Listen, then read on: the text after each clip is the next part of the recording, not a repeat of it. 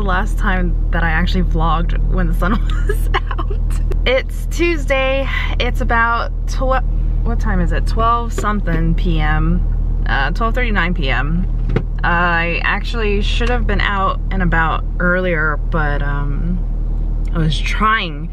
I was still tired so when I woke up, so I was trying to get in a little bit more sleep before I got up and went out and did stuff, but I just laid there tired but not falling asleep. It was so frustrating. I said, you know what? Fine, body, we're getting the fuck up.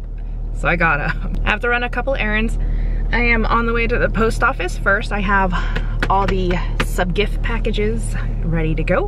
Um, I did miss a couple of recent ones within the last couple days because I need to get some more um, either print or make or whatever the fuck. I have to get some more sub gifts together. Plus, these are supposed to be for February anyways. A couple of March ones slipped in there because I hadn't gone to the post office yet, but I'm going to, um, the, there's some other March subbies that I, I'm gonna do uh, next month. I'll ship them out next month when I get back from my trip. So anyways, here we go. It's now 2.30, 2.40 p.m. Um, the post office took quite some time I sent out eight international packs, gift bags, um, and I had four, five for in the US. The ones in the US were very easy to send. Uh, the, I am familiar with the address format, so I was able to fill out, you know, write the addresses and give it to them and they are able to mail them out. The ones for the outside of the US, each one of them needs their own customs forms. So I had to go through and fill those out. and then the post office lady went through each one to do her side of the paper fill out and put the stamps and everything on there and mail them out. Total took over an hour. I think I said it was about 1240 when I left my I think it was around 1240 when I um, first filmed or you know vlogged and left to go to the post office and then yeah now it's about 240 now um, so two hours later and I, I went to I think the post office took about an hour and then I went to Walmart that whole time wasn't just the post office. I went to Walmart and I picked up a few things I needed. Um, I found a shirt that I liked and I got a couple of uh, things like shampoo, things that I needed. So pick those up as well. as for the pricing for everything, so for the in the US packages, they range from a little over $3 to a little over $4. So between three and five dollars for, for each uh, sub gift for the US. For outside of the US, each one was $14.25. So the total for all the packages this time was uh, like $114 for the outside of the US ones and then the inside the US was about about $15 this time. It's a huge chunk of money right now, but in the future months, they shouldn't be this bad because I shouldn't have this many packages to send out all at once. Like for example, uh, so far for March, I should, well, some of them went with the this group, some of the packages went out with this group, but the the rest that I haven't sent out and future subs, there might be only four that I'll have to send out, maybe, and I don't, I think maybe one of those will be outside of the US. So sending out the sub gifts in the future won't be a problem. It's just the huge batch of them currently to catch up with right now is a lot of money. Luckily, with the move and going to my parents' place, it actually, it was totally fine for me because I don't have rent to pay. So moving to my parents' place did help out with this and will help out with TwitchCon and making gifts for you guys then and you know, so on and so forth. And also making the two year gift for you guys. The two year gift will be the big money one. That one I will make as the big, big money one. So the two-year gift um, will be a surprise. I, I won't spoil it yet. We only have a couple of people that are about to hit the two year mark. I will let them get it first. And one of those being Cookie. And Cookie already knows because he helped me come up with the idea. He mentioned it and I was like, oh, that would be a great idea for a two-year sub gift. So, but I am going to design up and create the uh, two-year sub gifts. That one will probably be a lot more to ship out, but that's for people who hit two years. I feel like that's worth it, you know? You're people who hit one year have to wait a whole year to sub to get another gift. I think the gift will be worth for the people that will end up getting them.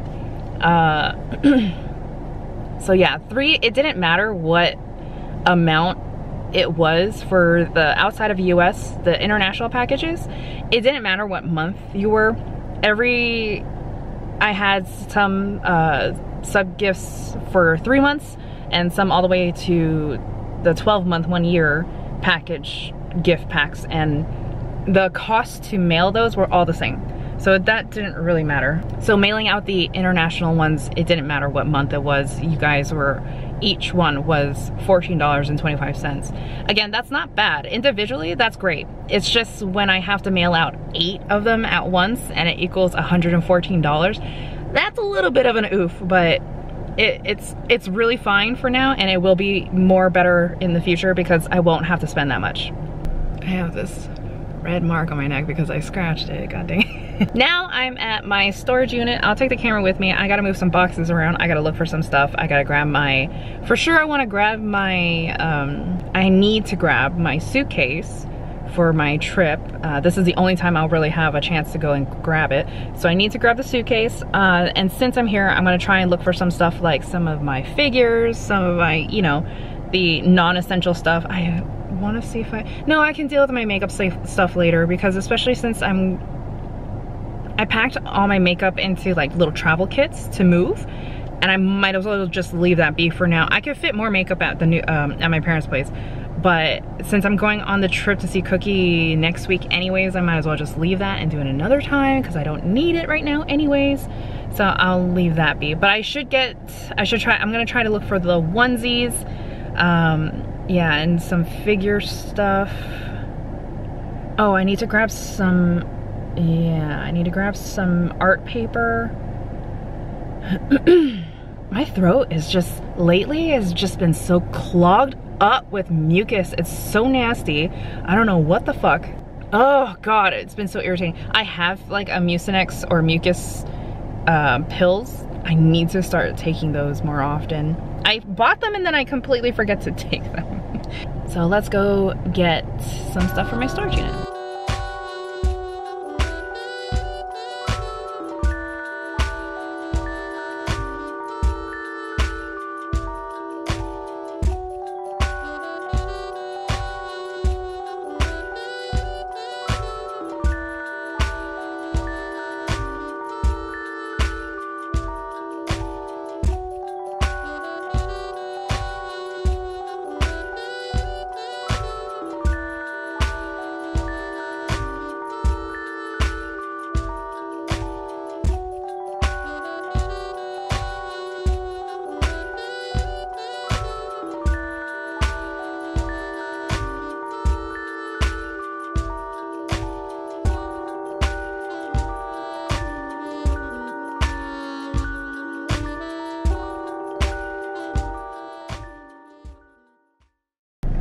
All done with the storage unit.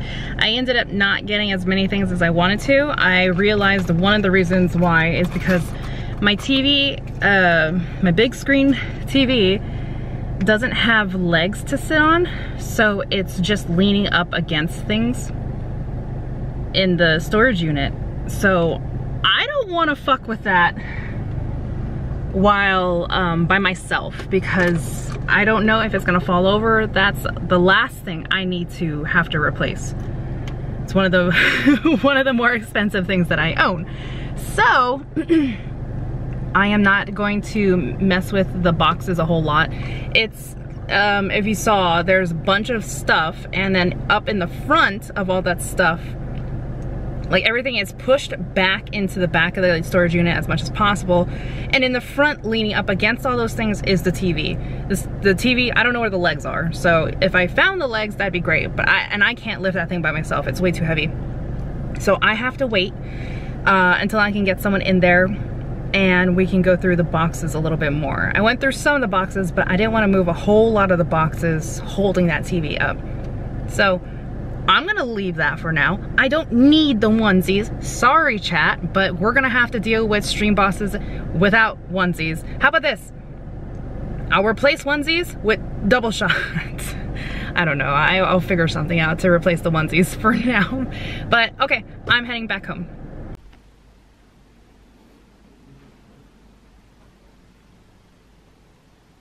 I have so much to do.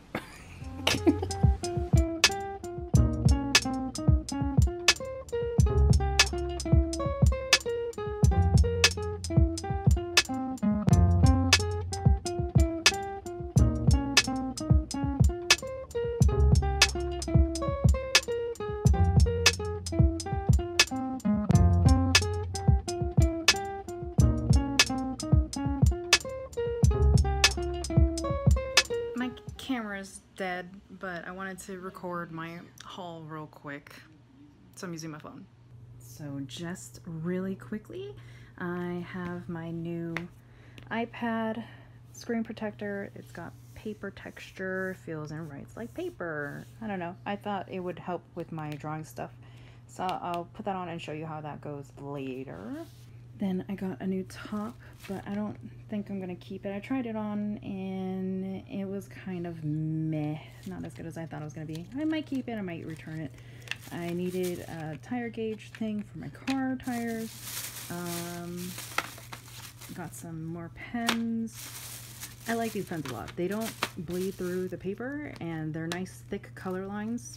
Really good pens. And then I got some more shampoo and conditioner. It's now about 8 p.m. Still Tuesday. I'm getting some other stuff done. I took a nap. I, I fell asleep for a little bit. Then my parents ordered some Thai food and we had some dinner. Um, I've been watching Johnny. Johnny Boy Creates all day. Hi, Johnny. So I have him playing in the background while I get some stuff done. Funny guy, really funny guy, really good streamer. So since it's 8 p.m., I am going to do a couple things here. I need to also get my pre-workout ready, um, take that in about a half hour, and then I'm going to the gym later on. Um, what else? In the meantime, in between all that, I'm gonna work on like updating my planner, um, you know, obviously vlogging a little bit, and uh, I need to put the new screen protector on my iPad. I don't know what else. I think that's it, really. Excuse me. Hmm. Should I? I should probably see about taking some stuff to the storage unit. My parents want me to take, I have like a couple of boxes. They're heavy though. I don't know. Maybe I, I don't wanna. but I, I don't know. Maybe I'll, I'll see about doing that. But that's, you know, when I leave for the gym. So yeah, I'm gonna just put the camera down and do some work.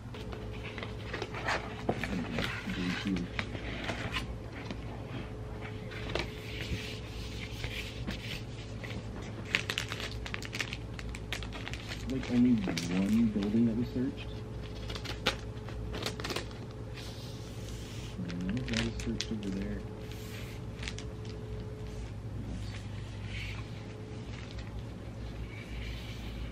I wonder if I should take the iPad I should probably take the iPad out. How do I take this out?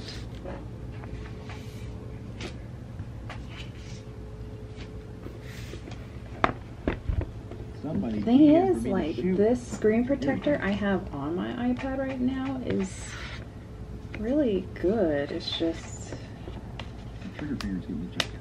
okay, come on. Okay. I also need to charge that, um, the, what's it called, the keyboard I have. God, I forgot how light this thing really is. okay, so let's remove this one, which again, it kind of sucks because this, like I said, this is a really good screen protector, but Pull it off. oh well. It feels, this actually, the old screen protector actually feels so good. Maybe I should turn Johnny down a little bit more. I'm gonna turn Johnny down a little bit more. I don't know how bad it's affecting the uh, audio, but I know that's a little loud, isn't it? it feels nice and thick, and I mean, it doesn't really matter. It's it's moot.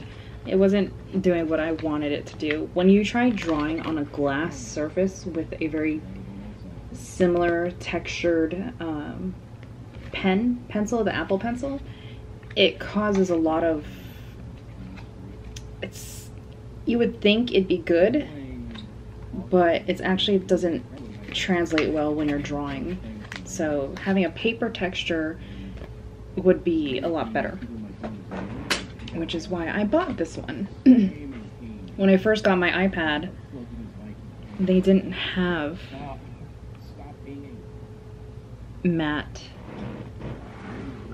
textured like they didn't have matte textured um, screen protectors so that's why I never I didn't get one the first time around one of the problems I had with the last screen protector is that lint got underneath it so easily. Like uh when I put it on when I first put it on there was lint everywhere. Well not everywhere there was a couple pieces. And that bugged the shit out of me. So that was another reason why I really wanted to replace it. What are you? So little little tiny things of lint underneath the screen protector caused like these little bubbles and I did not enjoy that at all but I think with this one comes with instructions. It's got like a sticky sheet, like this is just like a sticker sheet. And I think it's supposed to help remove all the dust and lint off first. And then you put it on. But let's see, there's like seven steps on these instructions just to install this. Wipe your screen completely clean with the microfiber cloth. Okay. They have their own cloth, so I'm going to use that cloth now. So we're wiping it completely clean. You know I have like 10 of these cloths now, by the way, just between having glasses and different things I've bought like this. Remove the backing of the dust. I'm assuming this.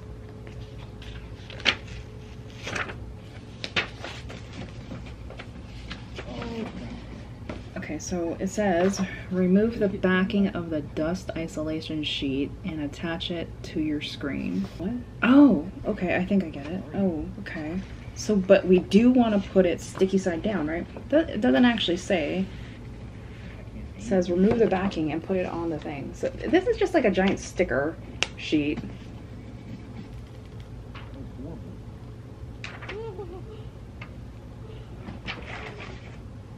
This is really difficult.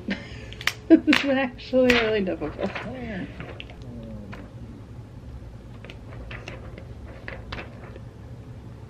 least I got something.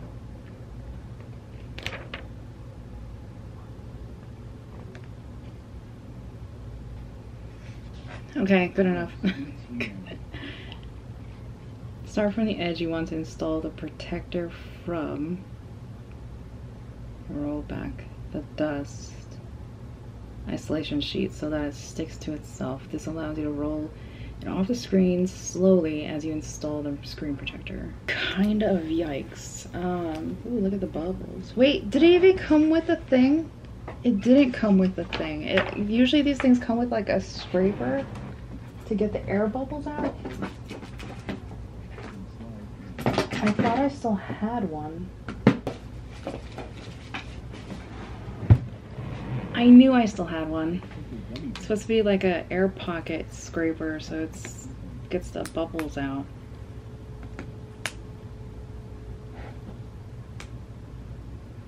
This isn't the actual cover, so there's no point in me doing this. But you know, I'm just playing around with the air bubbles at this point.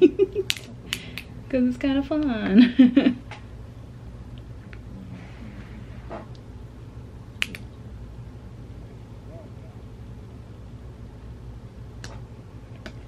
I don't know. I like fucking with air bubbles, but getting the air bubbles out and all that, so. But anyways, okay, so now it wants me to roll back the edge. Wait, do I want to start on this edge or do I want to start on this edge? What would be better? Probably this edge. This fits exactly. I need to make sure I do it exactly. Oh my god, the pressure. Am I the only one that gets anxious about this? So then I should probably rotate it around. Because it's got a pull tab here for me to pull the thing back. Yeah, okay, alright, let's...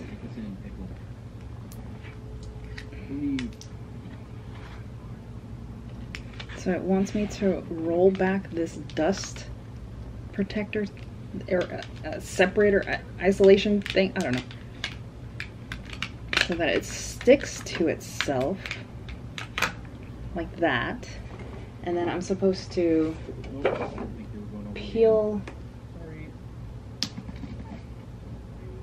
Oh, I almost thought there wasn't a backing on this. I kept pulling on this tab and just the tab was coming up. Oh my god, focus. Okay, well, that's the best it's, oh, there we go. but I kept pulling on the tab, but I kept pulling the tab only. And I thought, wait, is there no backing for this? This isn't like the thing. Okay, so, but there is. It's just, I gotta peel it up. It's not as simple as they make it seem to be. and the next trick is to not touch it. this gives me so much anxiety doing these. I feel incredibly anxious doing this right now. Because I feel like you get one shot, you know? You get, motherfucker!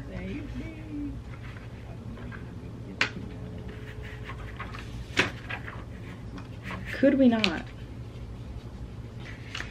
Just want to be able to hold it like this so that I can line up the edges easily. Well, easier, I would assume.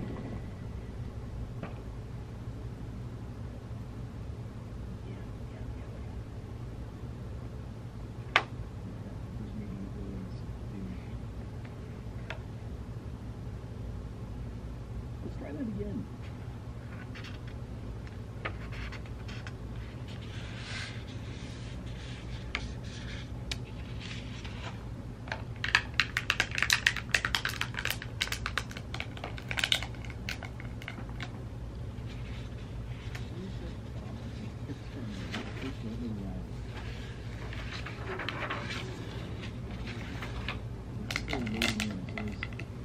Have someone with the name Bob David.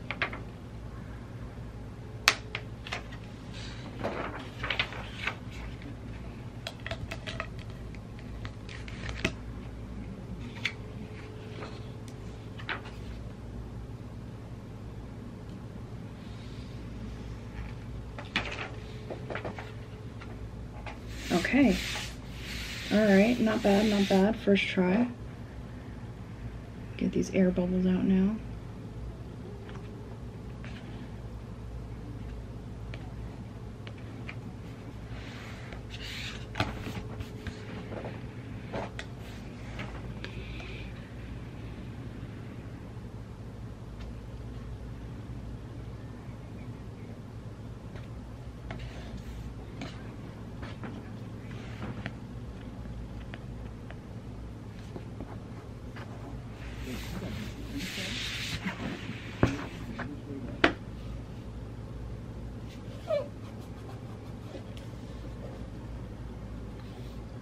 It's not completely centered, but that is okay. I'm okay with that. It's off on the edge of the top. It's a little bit low, but hey, look. Hey, hey, look that.